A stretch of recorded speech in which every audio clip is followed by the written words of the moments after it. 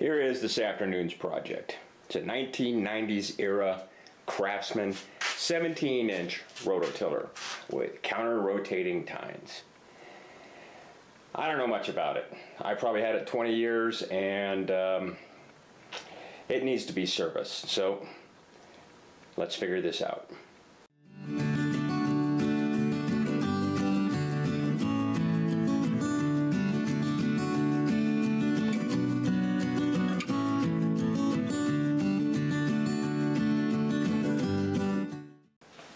It's time to service the rototiller. How do I know that? Um, I don't think I ever have, and I've owned it for 20 years. So, uh, yeah, I think it's time. Now, having said I've owned it for 20 years, I'll probably catch a little flack on that and not serviced it. I probably serviced it when I first bought it used, and it doesn't get a lot of use. When it does get used, it gets used for like an hour. The other day I fired it up, was using it, and uh, I decided, let's see if there's any oil in it. And there is, and it's black.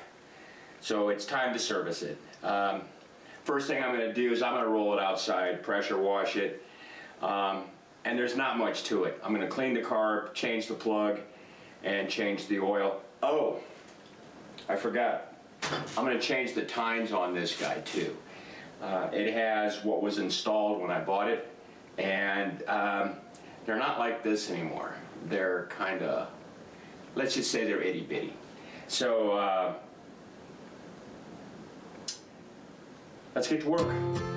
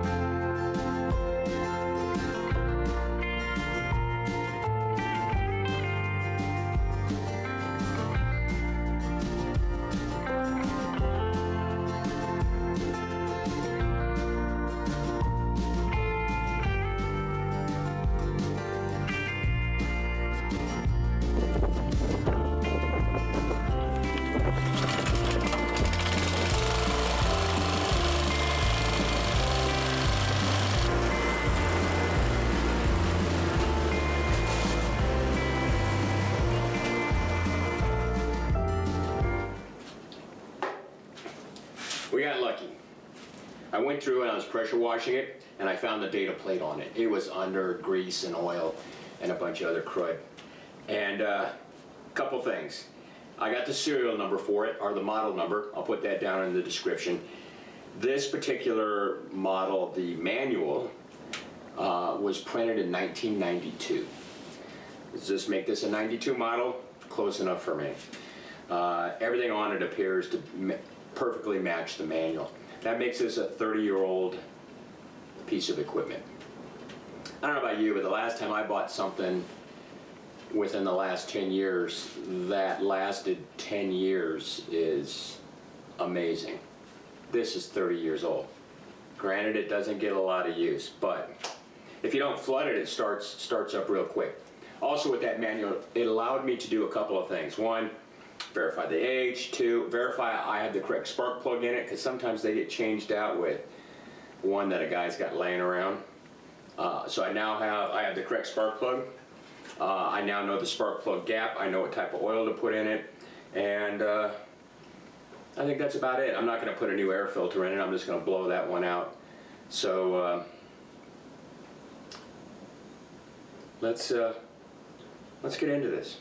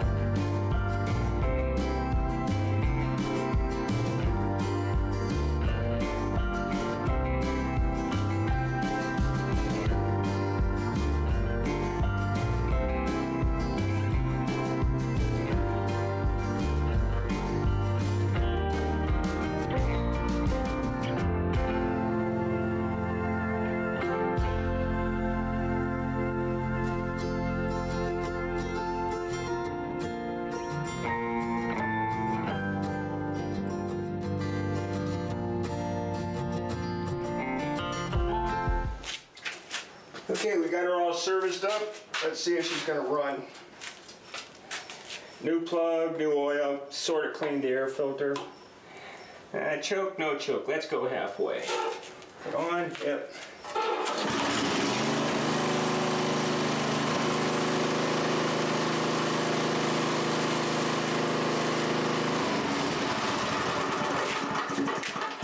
Dang thing's 30 years younger than me and it runs better. And that's on old gas. So we got to remember that when we're done, we got to drain all that gas out of there.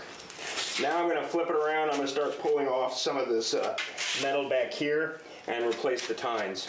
That's a whole project unto itself. So let's get to work.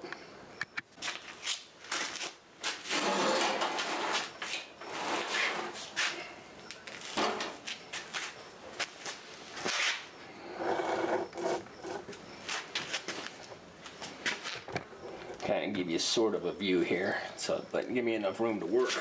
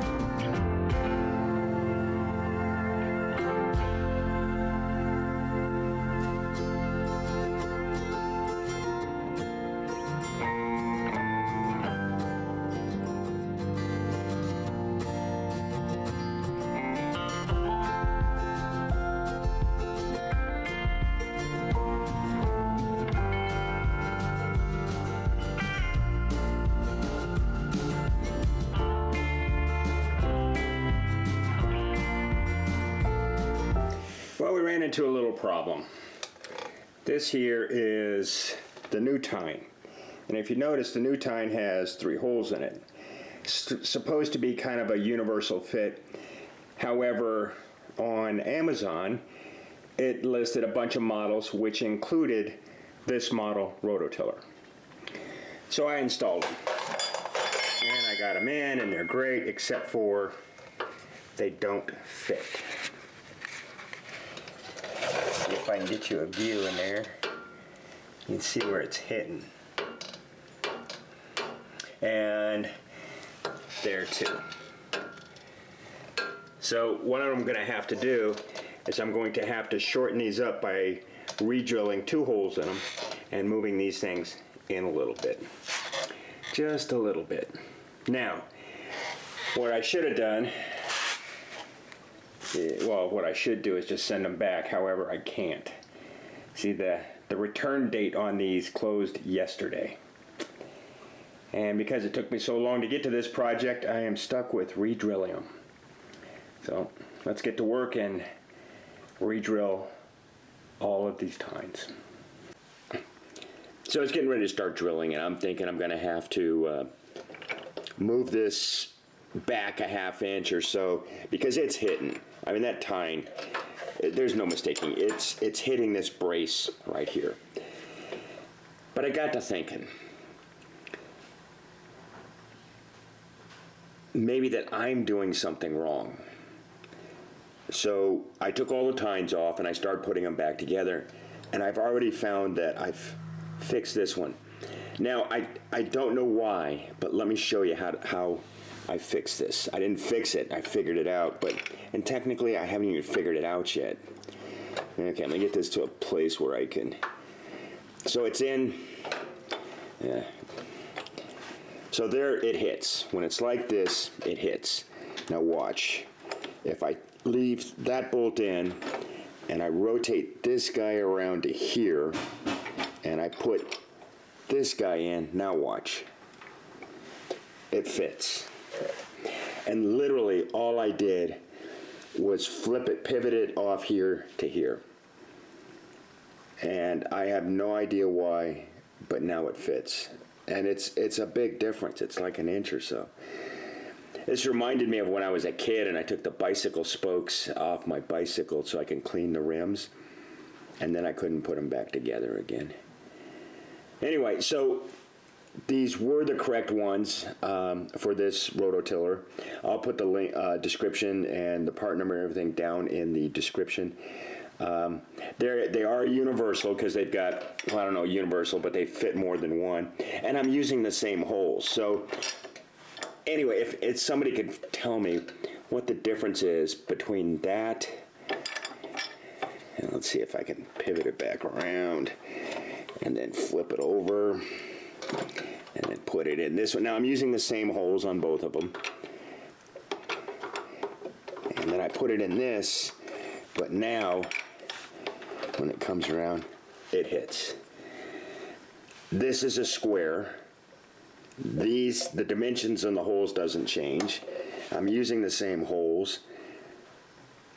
I, I, I don't know why, but if you put it in the wrong if you put it in the wrong orientation, it doesn't work, but if you put it in the correct orientation, it does work. And literally, I'll do it again. Pull that pen, flip it around, stick it in there, and now it works. I can't figure it out, but all I know is now it works. These are the correct tines for this. Um, so let me finish putting this thing back together and getting it back in service. The wife already said she needs it back out in the garden, so let's get back to work.